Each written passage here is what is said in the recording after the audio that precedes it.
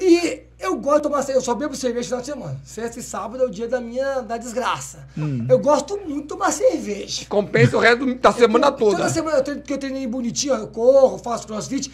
E aí eu tomo uma cerveja até quase infartar. Isso faz muito mal. Eu gosto, eu gosto muito. Eu acho também é uma pergunta meio óbvia, mas vamos lá, Ai. vamos lá. Tem uma resposta científica e uma resposta verdadeira. Qual você prefere primeiro? Manda a verdadeira que, a, Verdadeira, é que a, gente, a gente aguenta. Você namora? Namoro. Tem dia do corno? Uxi. Não, de corno não. Ah, então tá bom. Então por que, que você faz essa putaria quando você vai no final de semana? gente, que- Essa é a resposta Porque é verdadeira. gostoso.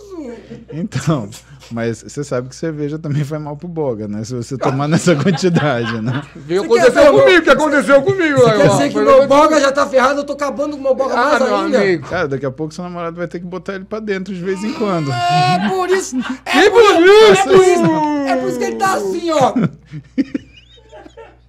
É assim. Diariamente. É, o meu boga não tá legal, não. Ó, Peraí, tá respondendo. Tá A Desculpa. resposta, a resposta fisiológica é o seguinte: até então, até pouco tempo atrás, a gente acreditava que você tinha um limite de consumo de álcool que Hum. podia ser metabolizado. Hoje não existe limite de segurança. Percebeu-se que o álcool ele cria danos que são ah, irreparáveis e que independente da dose. Então você tem dois padrões de pessoas: aquela pessoa que bebe um pouquinho todo dia. Ah, eu bebo uma cerveja por dia. Tá. Então isso é ruim porque você tem recorrência do uso daquele álcool. certo. Ah, mas eu deixo então, eu bebo tudo no final de semana. Por que, que é ruim?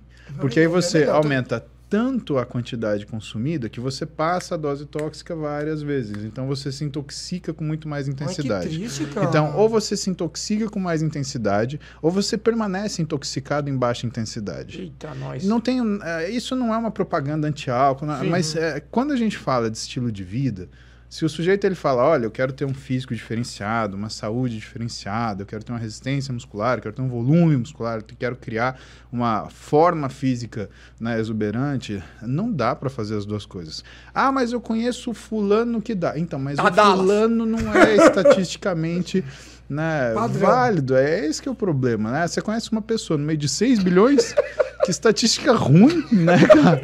É, se for pensar bem, faz sim. Então você quer dizer que eu estou me, me suicidando a longo prazo?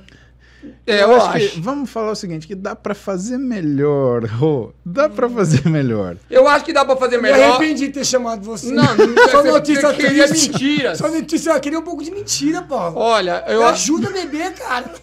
Não, mas aí agora aquele, aquele. Aquela coisa antiga, pessoal, faz que assim, ai, tomo todo dia uma tacinha de vinho. Minha mãe fazia é, isso, Coisa. É, infelizmente... É a mesma coisa, é a mesma. Então, dá na mesma porque o problema é o hábito, é a recorrência, entendeu? Então, infelizmente, se você fala pra mim, vamos falar cientificamente, literatura e segurança, não existe esse padrão mais. Que triste. né? A literatura médica atual ela não fala Triste. em condições triste, cara. seguras. Não, posso te dar uma notícia boa? Por, exemplo, favor. sabe o que é legal estar no meio de um monte de gente que bebe? Heineken. Você pode rir de tudo que eles estão fazendo. Você não toma nenhum drink? Ah, Não mente pra nós, hein? eu tomo, tomo sim. Mas ah, Com como é que é o meu... sem? De preferência sim. Certo, certo. Não, porque aí eu gosto de saber o que eu tô fazendo. né? Tem, um, tem um ditado judeu que fala: se você for fazer uma coisa errada, você tem que aproveitar até o fim. Então, Boa, boa. eu, boa, eu verdade. concordo com isso. Tá, mas aí você toma o muito. quê? No Natal, Réveillon e acabou. É, Eu tomo eventualmente uma taça de vinho com a minha esposa. A gente sai pra, pra Socialmente, jantar. uma pessoa normal. É, Como mas- as pessoas deveriam ser, não que se relaxa que é nós, depois não sabe por que que está no toba. É. Né? Agora eu sei porque o meu boga é tudo arregaçado. Agora eu entendi minha vida muito mais, mais perfeitamente. E outra, você. você sabe, vamos falar, vamos falar até a importância de relação de vida, a satisfação que você tem. Pô, eu tenho certeza que se eu for fazer a mesma coisa que você faz, eu vou sentir muito mais satisfação do que você. Por quê? Porque não é uma recorrência. Então, quando a gente fala, ah, eu preciso ter satisfação na minha vida, quando eu tenho um excesso de satisfação, eu não tenho mais satisfação.